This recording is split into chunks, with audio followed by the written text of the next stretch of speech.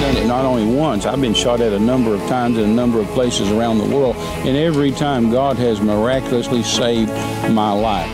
This is this is God's word. So John, this is not just John talking. It's not just the Holy Ghost Yes. talking. God is talking. Eating up the stories that he would tell of his missions and ministry, and it would build my faith.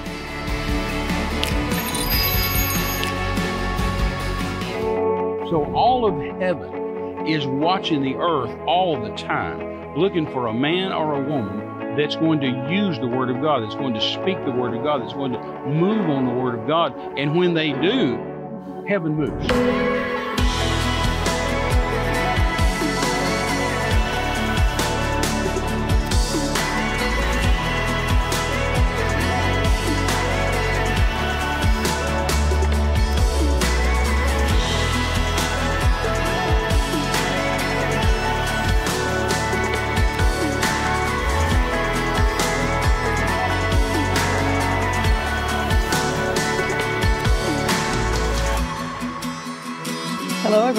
Welcome today to More Than Conquerors program. We are thrilled, as always, to be here with you and to share the Word of God. You know, we have such an expectant anticipation that what we're going to say by the Spirit of God today is going to make a difference positively in your life. Terry and I rarely have notes or anything. Uh, that that we would have to follow specifically to talk to you because we want to leave room for the spirit of the lord to prompt us on certain things. And that has to do with who's listening. That always has to do who with who is going to be watching the program this particular moment.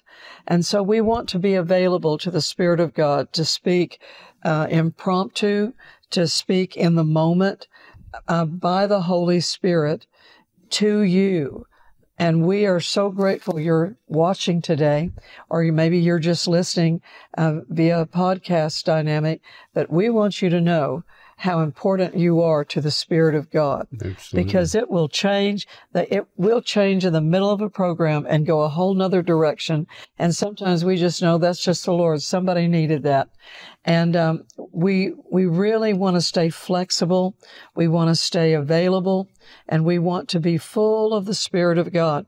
Um, the New Testament, all of Paul's teachings, everything that Jesus explained ahead of time that would be happening in the life of of a believer was going to be that the Spirit of God was going to live in them, not only comfort them and lead and guide them, but help them administrate um, their entire being, how we, the thoughts we think, the words we say, what we read, Right. uh, who we're with, everything that, that in life is supposed to be directed by the inward presence of the Holy Spirit. They didn't have that in the Old Testament. no, and, and, to go back to what you just opened with, that it'll go different directions based on who's listening. right, That goes back to what I've taught a lot about drawing on the Holy Ghost. right. You know, uh, I tell congregations all the time, and for for decades, This is important. that Listen. that you'll get more out of a service Right, if you interact.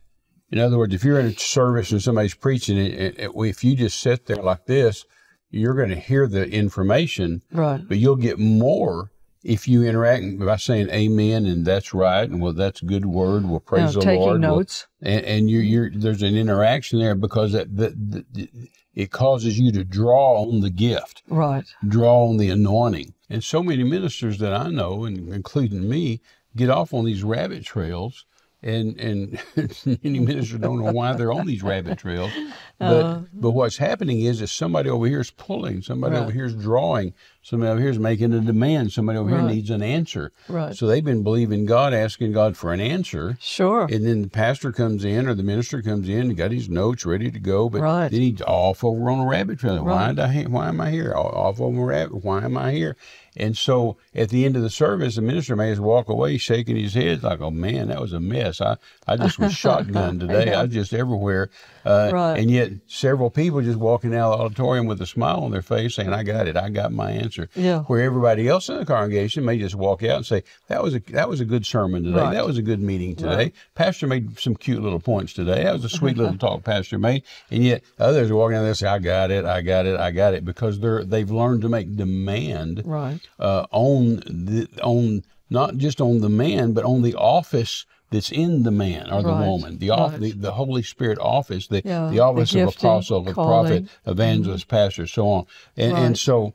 Uh, so, you know, when I go to a meeting, you, you very well know this. When I go to a meeting, I'm drawing on, on the minister. right. I mean, I mean, for years I'd go to Brother Hagin's meetings and I'd, I'd pray for two or three weeks before I'd get there. Lord, I'm going to get something if nobody else does.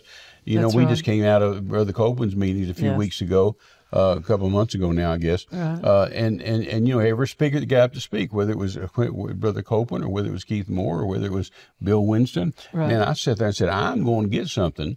If, if nobody That's else right. gets anything, I'm That's going to get something. That's and I'm pulling or drawing or making demand on that office of the Holy Ghost. I'm tagging the Holy Ghost and tag Holy Right. Spirit talk to me.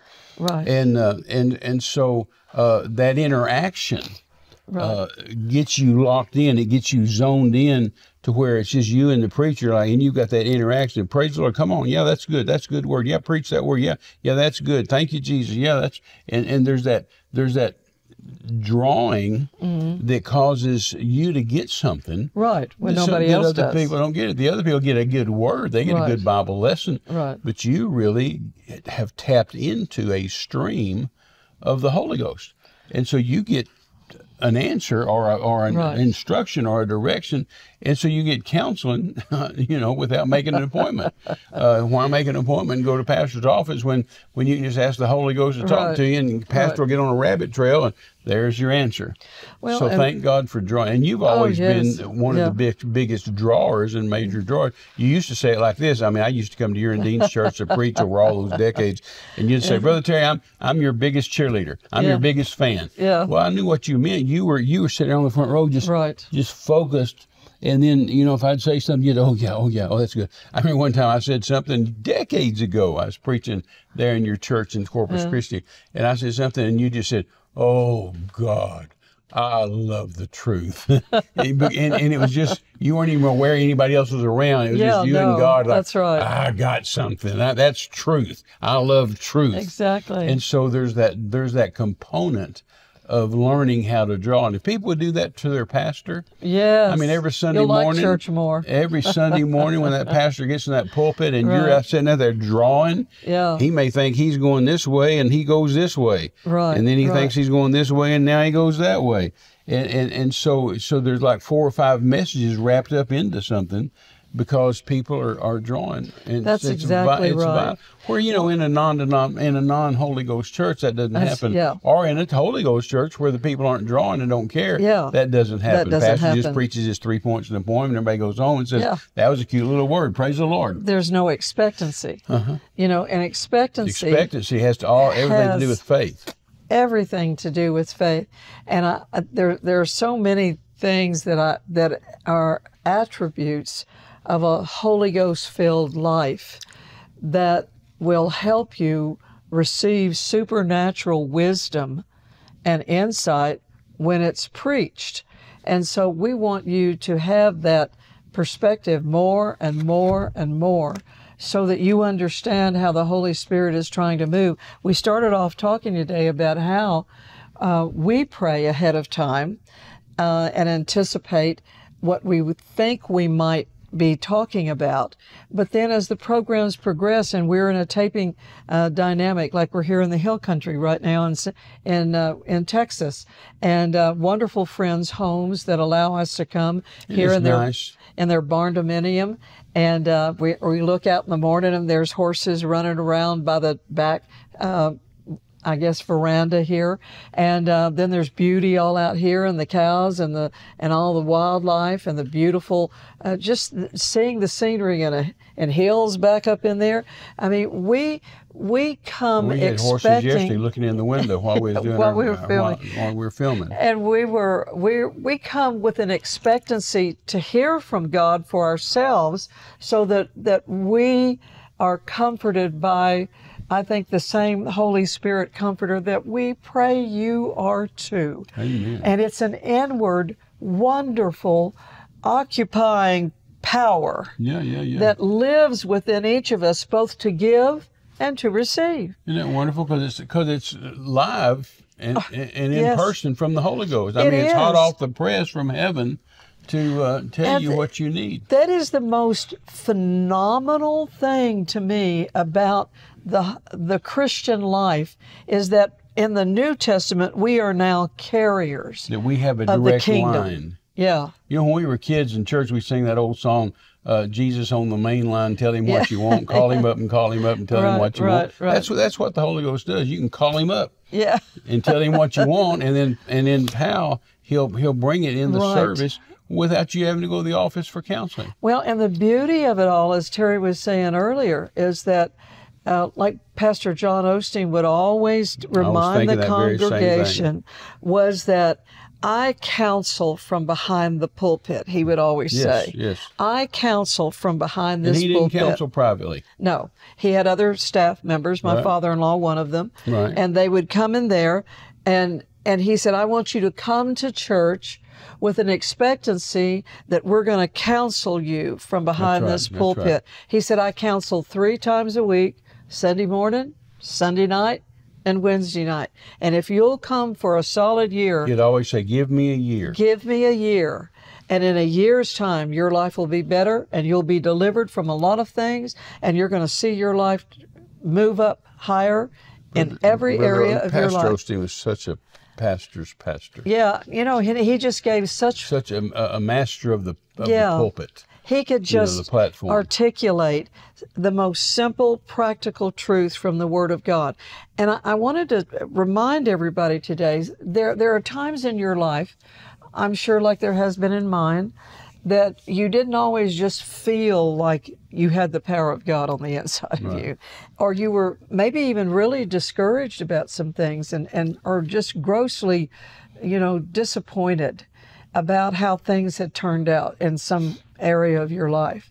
And I've had to go back to the basics every time Oh, absolutely. to Foundation. review where I am. In fact, Isaiah and Jeremiah both said the same thing. They and the Lord spoke speaking through them. He said, "Go back and find where you left me. Right. Go back and find, retrace your steps." It You says know, in we've one always scripture. told people if you don't know what to do, go back to the last thing you know for a fact God told you to do. Exactly. And start there. See if you did what God told you to do. God's a good checker player. He's is not going to move point. out of turn. So go back and see if you've you've moved yet. That's right. Obedience of just doing the simple things. You know, it's like your parents telling telling you as, as a child, uh, you know, go out there and put your bicycle up and put it in the garage for tonight. You know, and, get, and shut the garage door and lock it and blah blah blah.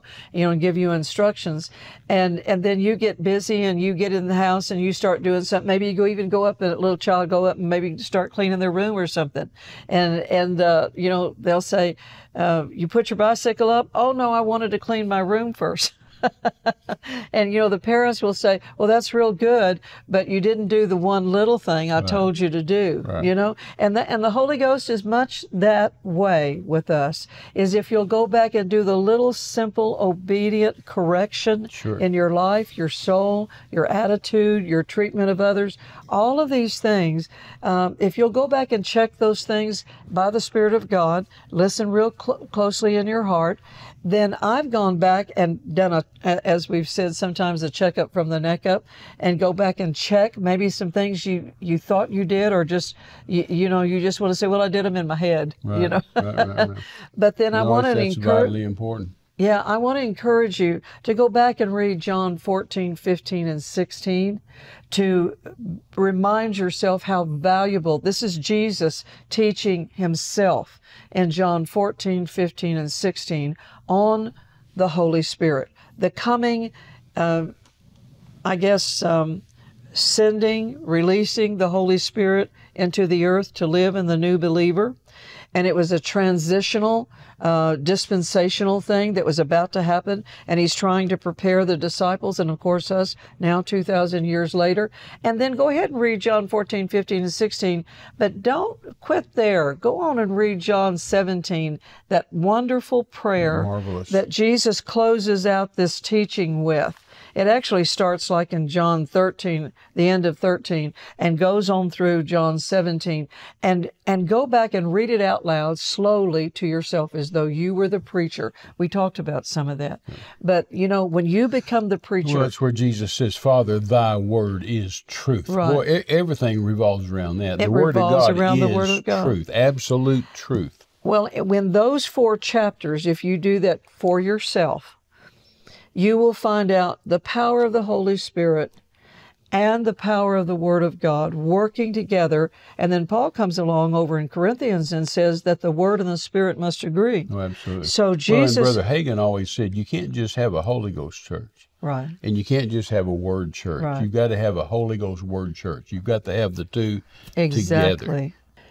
If you're struggling with the Word of God, sitting down and reading the Word of God, I have found from personal experience, this is something the Holy Ghost told me, I guess, 35, 40 years ago. I was struggling one day with just my attitude about things and on, on a certain level. And, uh, and I just had a, an impromptu impression from the inside to go read Psalm 119.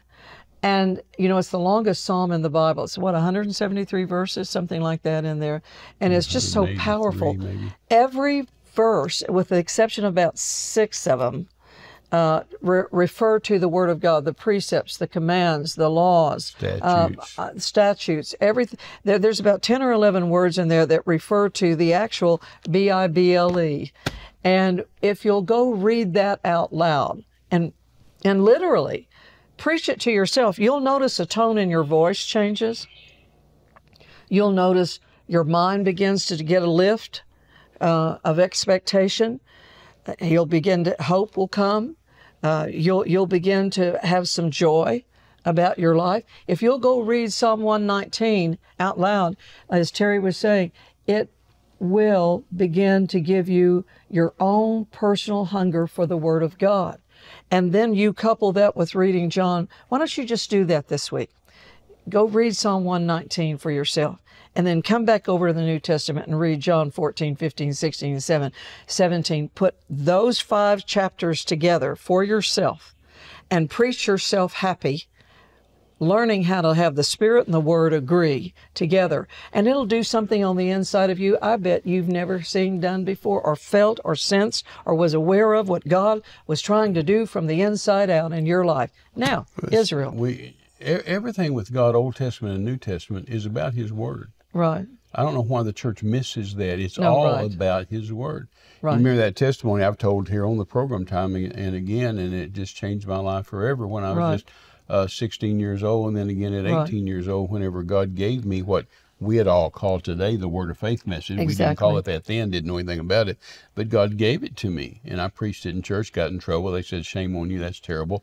And then about died in Panama, and I came back and said, "Maybe that wasn't. Maybe I didn't miss God after all." And I went back, and God gave it back to me. But every scripture He gave me, the five basic foundational scriptures Mm-hmm. God gave me, that changed my life, and increased my life Right. creased it. That crease is still there, and I've never changed from it since 1968, since I was 18. but Thankfully those so. five scriptures he gave me were uh, every one of them were about his word and what he thinks about his work. Right.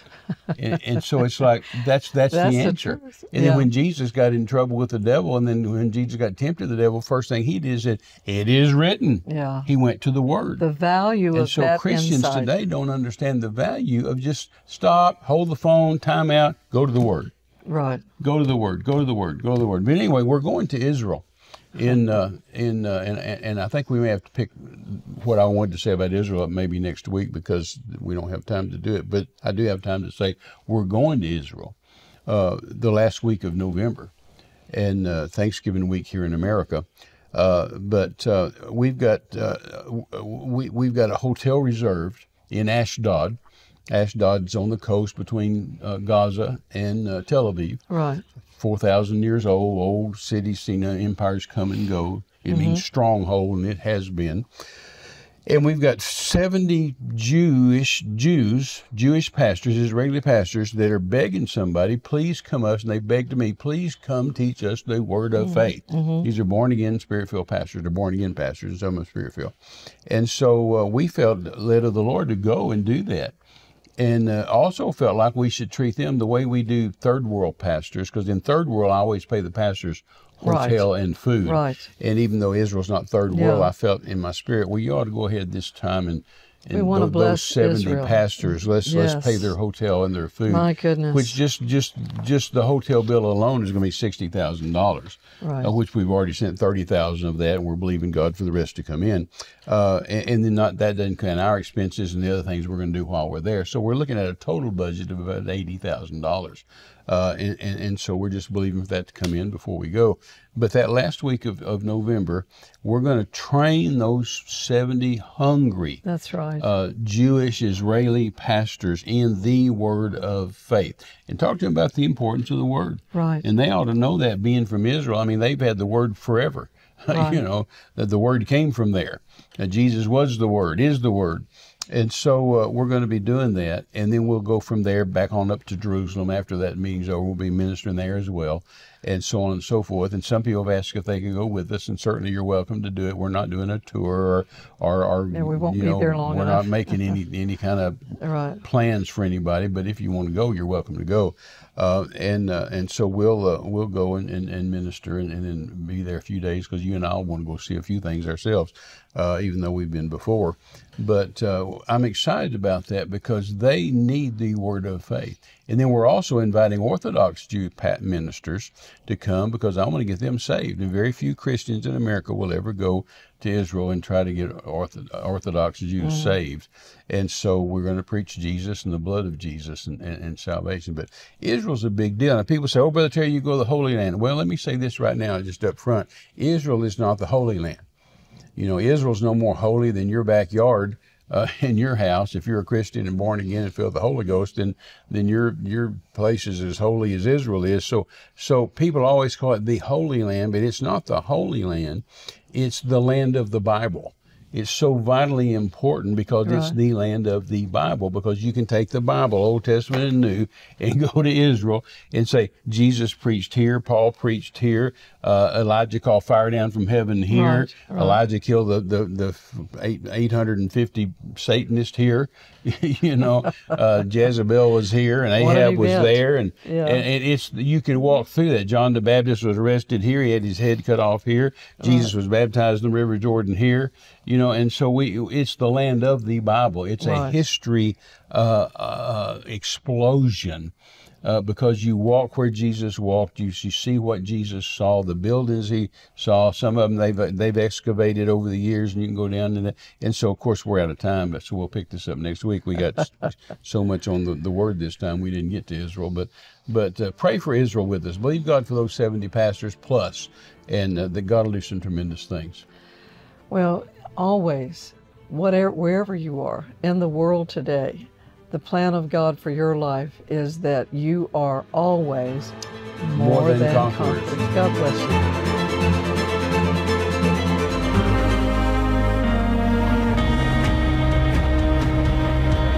And I want to talk to you just a minute about a famous old preacher, a real hero of mine. He's in heaven today, been, been gone for quite a while.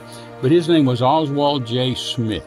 He loved missions and wanted to be a missionary. That's all the man ever wanted to do is be a missionary, but he couldn't do it. He tried. He went overseas over and over again. And uh, finally, he, God got it across to him to pastor a church in Canada and quit and do missions, but quit trying to go overseas and be a missionary. And so uh, there was a church in Toronto that needed a pastor. When he got there, they said, Now look, we're deep in debt, and we want you to preach Sunday morning, and we want you to preach Sunday night. We want you to mention the debt, talk about the debt, and raise an offering to, to deal with the debt. And so he got up Sunday morning and preached, and he preached on missions to everybody's surprise, and never one time mentioned the debt. They said, Why don't you stay over and preach next Sunday? Now, listen, we're deep in debt. We want you to take up an offering. We want you to get this debt taken care of. And so he preached Sunday morning on missions, never mentioned the debt. Called an afternoon meeting for 2:30, preached on missions, never mentioned the debt. Preached Sunday night on missions, never mentioned the debt. For some crazy reason, the board decided to hire him as their pastor. And so he preached for a solid year, never one time mentioned the debt, preached on missions every time. But because they gave to missions and believed in missions, God paid their debt off. So at the end of the year, he got his report from his, his bookkeeper, his CPA, And the bookkeeper said, You gave seven times more to missions than you spent here at home. And I want to read you something that he said that I've lived by and I've preached around the world. He said, Number one, if I refuse to give anything to missions this year, I practically cast a ballot in favor of the recall of every missionary from the field. Number two, if I give less than I've given before, then I favor a reduction in the forces of missionaries proportionate to my reduced contributions. Number three, if I give the same as I've always given, every year give it the same, then I favor holding the ground already won, but I oppose any forward movement. My song is Hold the Fort, forgetting that the Lord never intended his army to take refuge in a fort. All his soldiers are commanded to go. And number four, he said, if I increase my offering beyond former years, then I favor an advance, an advanced movement in the conquest of new territory for Christ. And you know, I took that to heart when I was a missionary, and all these years I've been in the ministry. I mean, all these years. Uh, at the beginning of every year, I tell the Lord, I'm going to give more this year than I gave last year. I'm going to give more this year than I gave last year. And we've been able to do that now for over half a century. And God has blessed it and blessed it and blessed it. It's proven. And uh, I invite you to get involved in giving to missions as well. And if you'd consider, prayerfully consider partnering with Renee and I, partner with Terry Mize Ministries as we go around the world, then I promise you this I will pray for you. Renee will pray for you. Our staff will pray for you every day, every day, every day. And according to God's word, He will bless you and minister to you and keep His word to you. I believe you'll find missions giving is going to be your greatest asset and your greatest return on your giving that you've ever had in your life. God bless you. We love you. You're more than conquerors.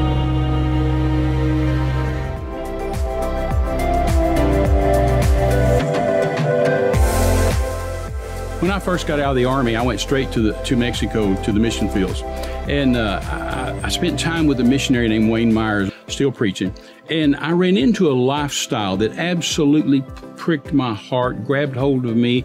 I saw a, a man that was living to give. I mean, he, he was he was living his life on planet Earth with the purpose of blessing somebody, lifting somebody, embracing somebody.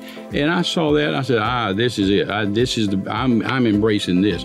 And I right there made a vow to God and to myself, and I said, this is how I will live the rest of my life, living to give because it's the very nature of God. So I want to encourage you to hook up with that same lifestyle of giving. I mean, embrace it, living to give. And you can give to your local church, you can give to other ministries. I've partnered with ministries since around the world since I was a teenager, and I tell you, God's blessed me for it. I wouldn't trade it. You can also partner with us. We're always happy to em- embrace partners. We pray for them every day.